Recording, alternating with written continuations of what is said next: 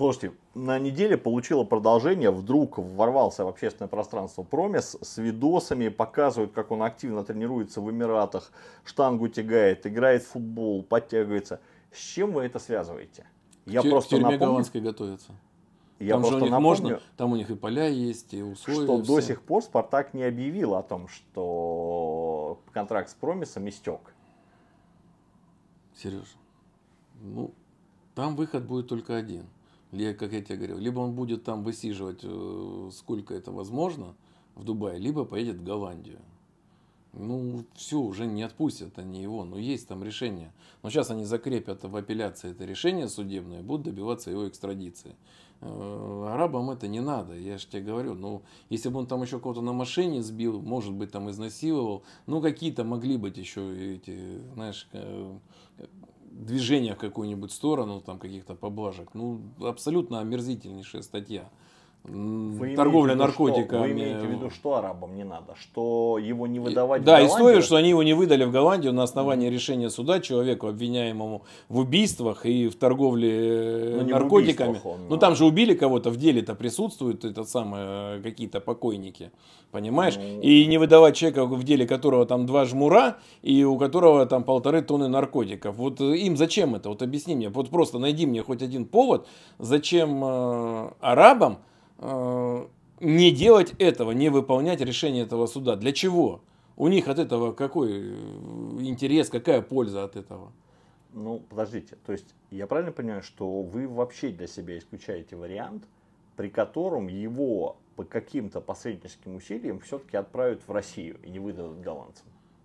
Если только ему втихаря не дали российский паспорт. Ты понимаешь, если ему втихаря нас же все время говорили, я исхожу из того, что паспорта у него русского нет. Так. Но у нас все время вот этот, помнишь, тему вайдосили, русский паспорт, да. русский паспорт. По состоянию того, что он э, преступник, ему не должны были давать российский паспорт, и не могли дать. Но я не исключаю, что по каким-то твоим любимым блатным схемам он мог его получить. И если у него есть российский паспорт, ну тогда возможны там любые комбинации. Но я сейчас, когда с тобой вот эту беседу веду, я исхожу из того, что он только э, владеет паспортом Голландии, да. Голландии, и второй же у него там, по-моему, Суринам или что-то там еще у него есть. Все. Третьего у него нет. Вот если мы исходим из этой позиции, тогда ему путь только туда.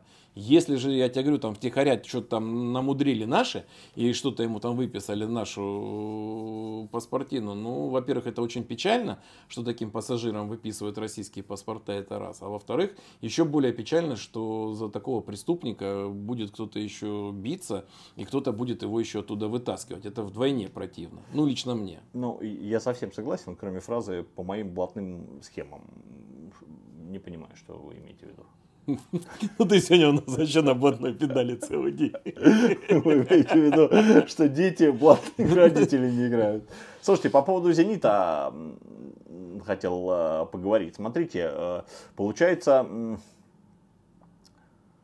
ну как сказать, они все равно, я вижу, сейчас ищут левую, ну то есть русские трансферы у них там вот Глушенков называется, э, этот самый Соболев, то есть у них как бы прямо идет, идет работа, то есть с чем, с чем Ну дошло до них, и опять же эти крики, но им надо обязательно обрусячивать э, состав, потому что недовольство будет расти, но тут проблема в том, что я думаю, они, знаешь, как раз э, круговой, это была такая точка отсчета, после которой идти, идти князьян потом русские поняли, туда идти нельзя. Угу. Ты просто идешь э, туда, как Сидеть этот, на лавку. Да, как раньше, срывай эти э, подковы. То есть ты идешь туда не играть, а просто сидеть на лавке, полировать жопой лавку и получать э, неплохие деньги. Вот, мы помним опыт Бакаева, мы помним опыт других, поэтому я думаю, сейчас для «Зенита» будет проблема даже за большие деньги туда э, загнать каких-то хороших игроков. Угу. Вот, потому что ну, они превращаются вообще непонятно во что. Там даже которые пытаются выходить играть, ну даже возьми того же Сергеева, ну вообще это что-то такое. Ну и другие, ну мостовой хоть как-то он там вышел, ну он просто сам по себе парень хороший, игрок хороший, отдал эту передачу. Ну, в ну, финале ты, Кубка. Да, в финале да. Кубка. Ну так, ну какой загубленный талант, ну он бы в любой другой команде, в той же Динамо, ЦСКА, в Спартаке, ну это был бы номер один игрок в середине поля. А там вот он выходит э, один раз там, в пяти матчах и не знаю. На мой взгляд, а, «Зенит», он не позор, но он могильщик именно российских футболистов. Слушайте, Андрей Владимирович, я вас правильно понимаю, что вот и вы до этого говорили, что вы не считаете, что в следующем году гегемония «Зенита» вернется? То, как мы ее видели, мне когда наоборот, за 4, кажется, за 5 туров они выигрывали. Мне наоборот кажется, что еще хуже у них будет история. Почему? Почему?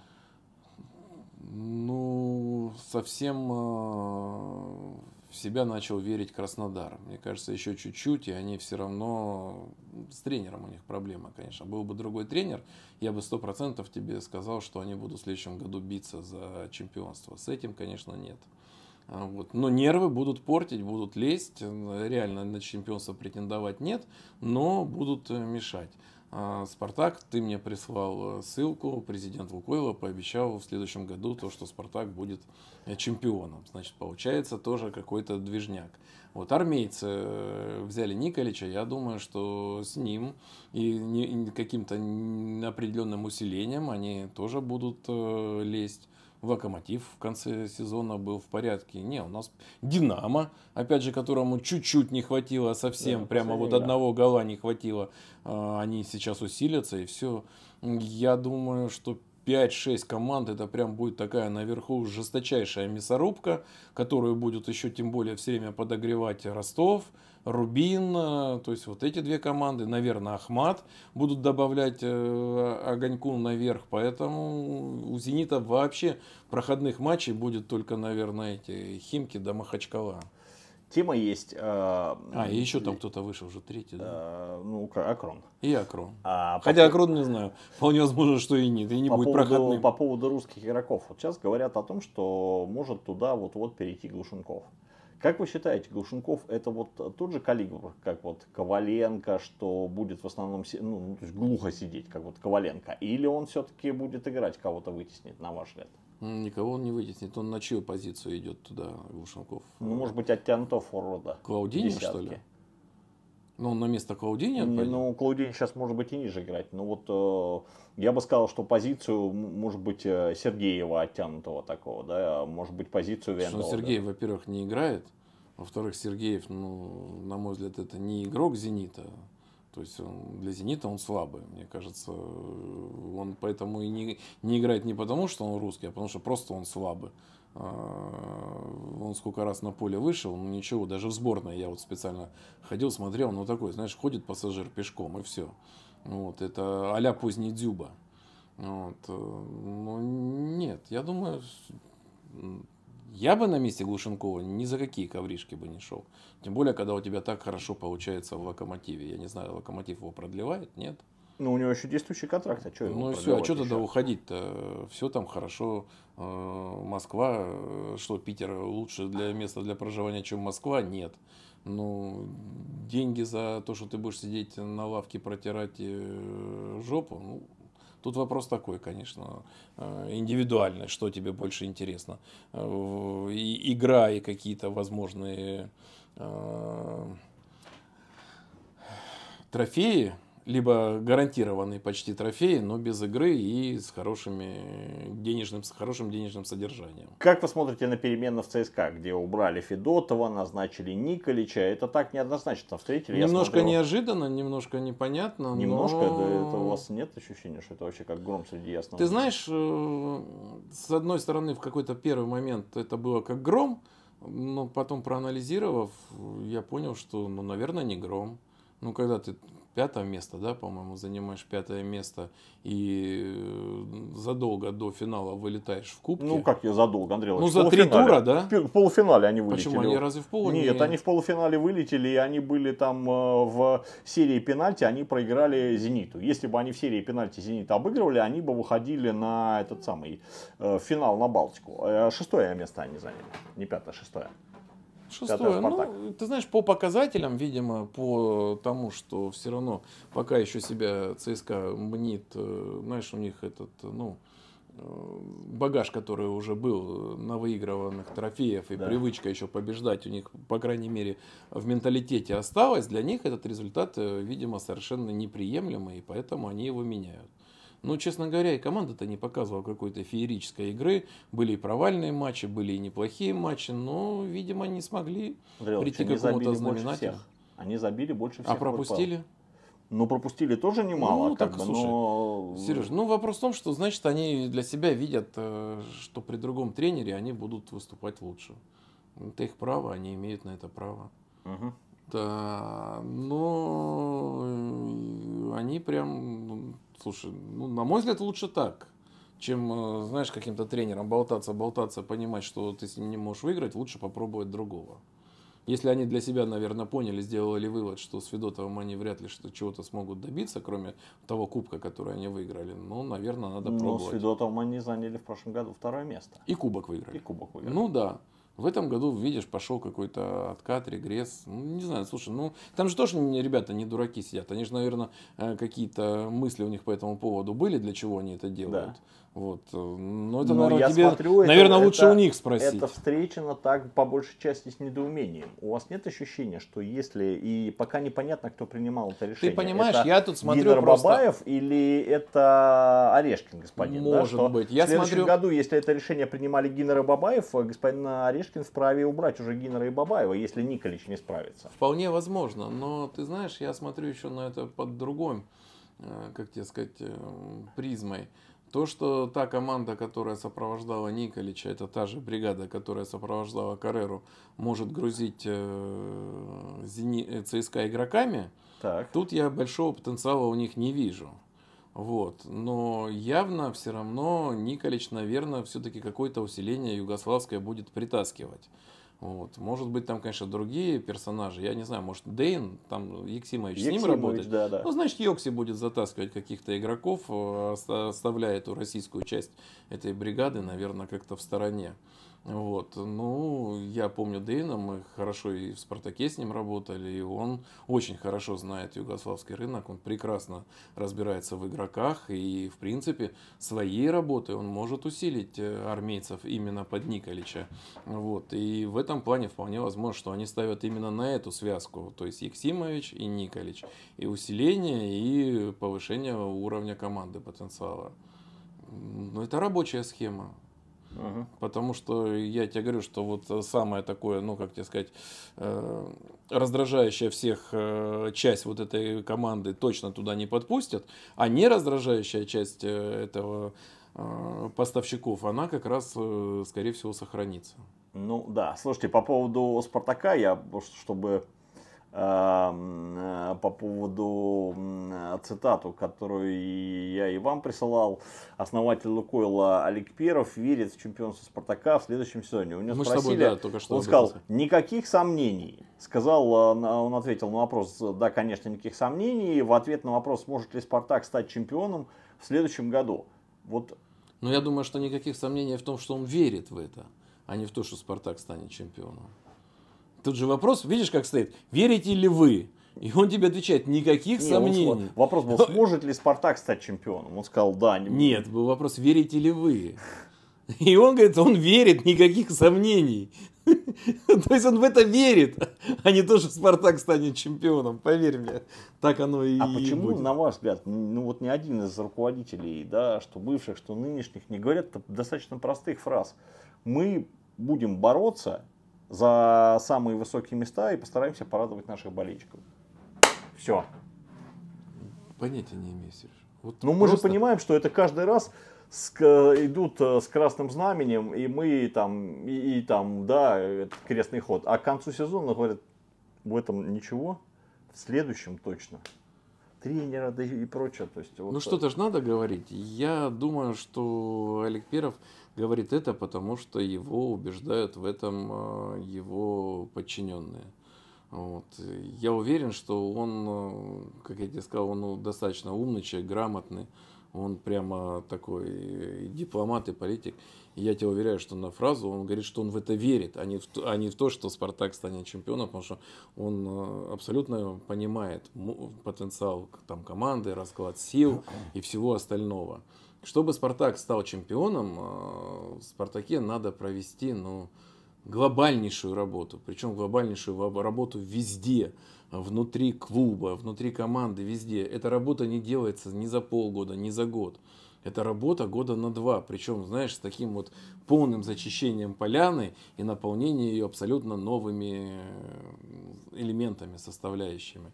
Вот, вот э, то болото, в котором вот он, знаешь, вот это как в, тря... в рядске такой вот он болтается, болтается, вот он и будет так болтаться, пока не произойдет э, вот эта глобальная вычистка. И до этого момента, ну, может, да, может где-то кубок зацепить, может где-то что-то проскочить. Но в разряд э, грандов и в разряд лидера российского футбола Спартак в таком состоянии, в котором он находится сейчас, не вернется. Угу. Вот ближайшие года три не, не сможет он вернуться. Что-то шальное залететь, да, может. Но вот так, как, знаешь, давил и был лидером, безусловным, когда Спартак выходил на поле, и, всех, и все тряслись, и думали, как бы за ничейку отскочить. Такого нет, про это можно все забыть уже. Как вы смотрите на тему ухода Слишковича? Что, на ваш взгляд, это такое? На мой взгляд, это ничего серьезного, на что стоит вообще обращать внимание. Ну, ушел и ушел. Ну, слушай, ну, э, ты понимаешь, человек э, попал в тот момент, когда всех отпустило и не отвечая за результат, просто удачно проехался в конце. Вот. Кто-то, конечно, связывал это непосредственно с ним, но я думаю, это просто стечение обстоятельств, так бывает. И соперники были не самые сильные, да и шальные там какие-то моменты залетели. Ну, в чем заслуга Слишковича, когда Писяков этот больной побежал вначале выбивать, потом еще чего-то, ну где, ну, ну, ну получил Ростов там, не помню, 4,5, но он-то тут при чем? И все остальные там тоже вопросы. Но это не та фигура вообще, вокруг которой нужно а, какие-то, знаешь, акценты расставлять. Ну, повезло парню. Он дал этот период, показал. И теперь вполне возможно, кто-то на него обратит внимание и вообще подумает, что он хороший тренер и возьмет его в какую-то, ну, команду такую ниже ватерлинии, да ну, я имею в виду после восьмого места. И вот если он там покажет такой же футбол, ну тогда о нем стоит вообще говорить и стоит уже что-то обсуждать. А пока обсуждать вообще нечего. Но у вас нет ощущения, что он сам как бы думал, что ему после того, как вот он а, подхватил это упавшее знамя после отставки Абаскаля, что ему дадут порулить? Медные трубы. Они всех губят. Огонь, вода первично, а в конце не выдерживает. Угу. Наверное. Я думал, что да решил пойти в банк и в итоге вышел вообще. Вышел вон. Да. Ну, так бывает. Ну да. Знаешь, как это, поверил в себя, понесли ботинки Митю. Тема с Соболевым и Зенитом, это широко обсуждается, что вот может уйти. Вы понимаете, зачем Зениту Соболев и нужно ли Соболеву уходить э, в Зенит? Ну, если я правильно помню, то Соболев э, клиент же Паша Павла Андрея, Андреева, да. да. Вот, но Паша поставляет игроков в «Зенит». А, то, что Соболев э, лучше Сергеева, несомненно, причем в два раза. То, что у «Зенита» нет э, впереди второго хорошего фактурного нападающего, ну, кассир это одно, но я да. думаю, что в паре с Соболевым это была бы неплохая линия нападения. Вот, опять же, тут э, как бы убиваешь двух зайцев. Во-первых, ослабляешь Спартак окончательно в атаке, оставляя с одним этим Угальде. Угальде, да. И, во-вторых, усиливаешь атаку «Зенита». Для «Зенита» все логично. Причем вот в этой ситуации, я думаю, что как раз вот Соболев, наверное, скорее всего, в «Зените» бы и играл. Вот, потому что он им подходит и по стилю, и так и по фактуре, и по всему. И вот эти все его э, такие немножечко гопнические выпады, вот эти такие, знаешь, хулиганистые, но там бы они бы сходили, наверное, на нет. И, может быть, э, как бы сейчас «Зенит» весь какой-то такой взбудораженный. Ты помнишь, сколько там они, 3-4 драки они в этом сезоне уже ну, пытались не драки, но... замутить. Ну, столкновения, да. да. Поэтому нет, вот мне как-то кажется, что Соболев туда вписывается по всему своему формату. Вот. Э, ну, тем более, Э, сейчас совершенно, на мой взгляд, нехороший осадок у него после ситуации с Джики. Джики и он да. понимает, что после Джики он следующий на это же заклание пойдет. Э, поэтому я бы на его месте, если была возможность, уходил бы. Угу. Ну, а, ну, то есть, а Спартаку, вы же понимаете, что если Спартак продает, ну, как бы на сегодняшний день, это свой главный актив. Ну, это вообще катастрофа. А у него еще большой контракт или он у него Ну, у него длительный контракт, как бы, да, то есть у него не это. Ну, послушай, э, Спартак, насколько мы видим, он не ценит сейчас свои активы.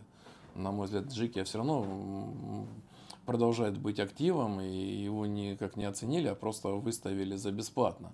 А, ты не забывай, что актив он хорош, когда он дает пользу.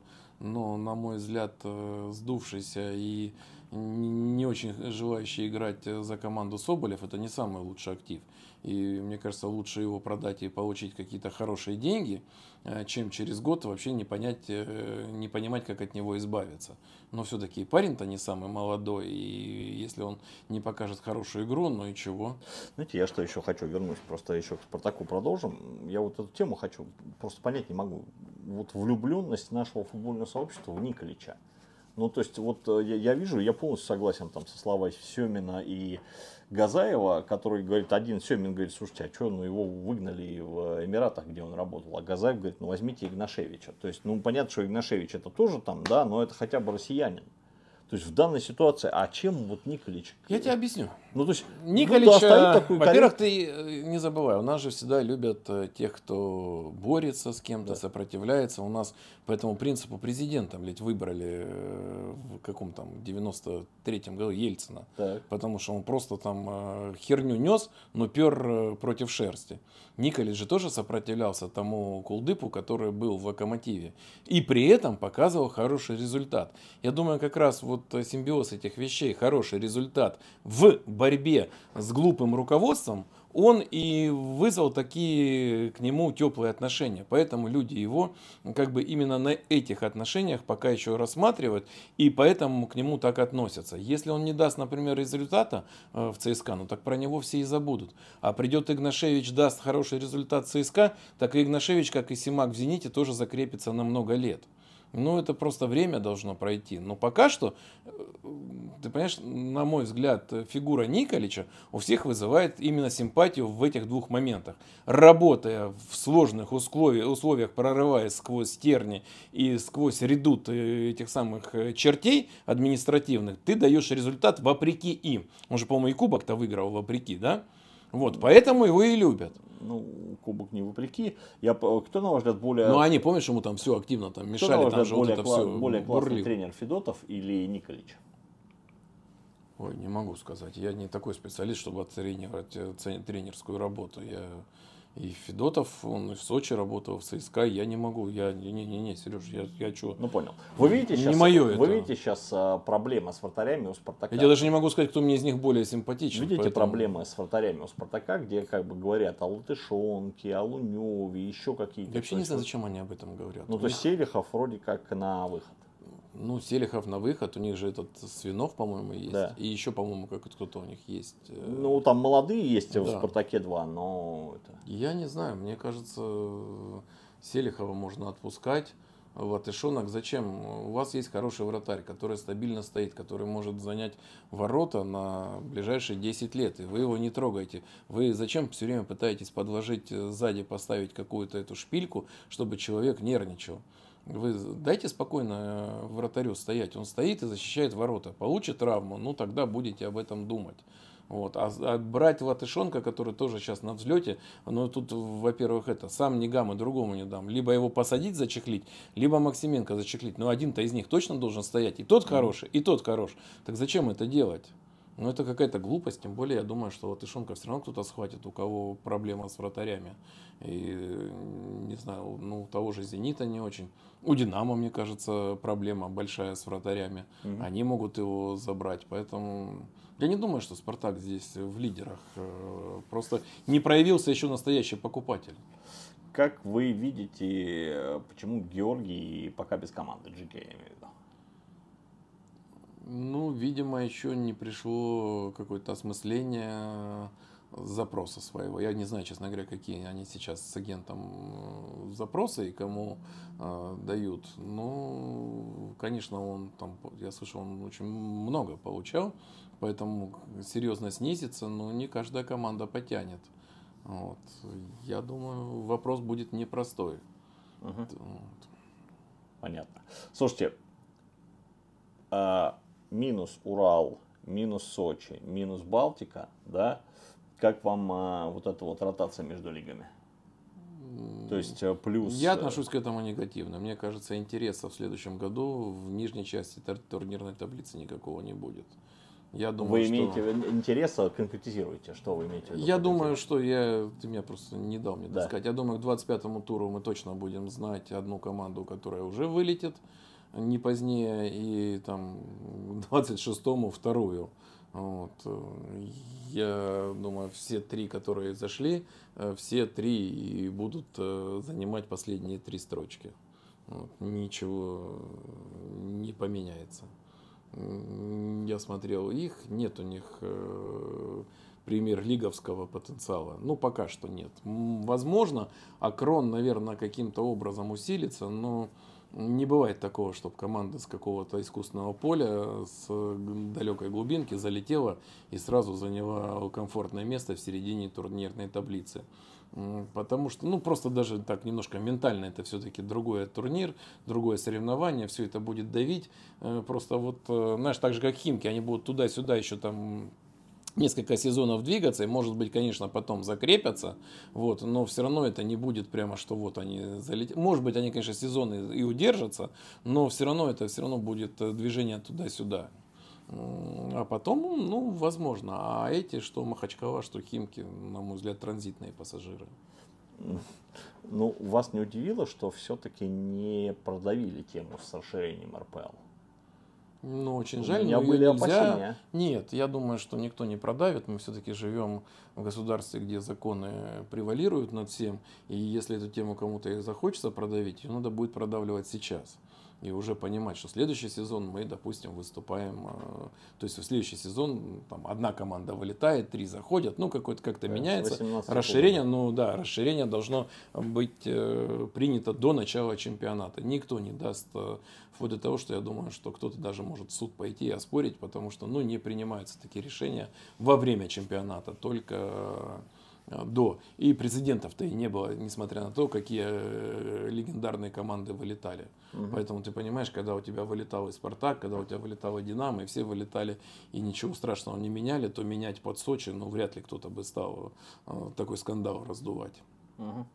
Слушайте, ну, вот история Козлова, да, это опять с чего начали, тем и закончим, да, история Козлова из Балтики, которую, ну, сейчас реально просто супер себя проявил. Это же показывает о том, что у нас есть футболисты. Я считаю, Извините. что их очень много, им просто не дают возможности да? раскрыться. Да. Я считаю... Вот из-за а, этих именно колоний. Ты понимаешь, есть... и, и у нас очень много ребят, которые немножко позже раскрываются. Ведь вот я помню, а, наш Спартак и Прудников и Дзюба, это были примерно одинаковые игроки, только Прудников был яркий, и все ставили на него.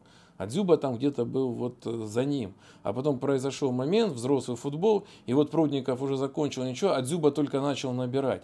И вот этим вот ребятам, которые как Дзюба, которые немножко поздние, им-то и не дают раскрыться вот эти вот охвоебы, которых тащат из-за границы, которые занимают их места.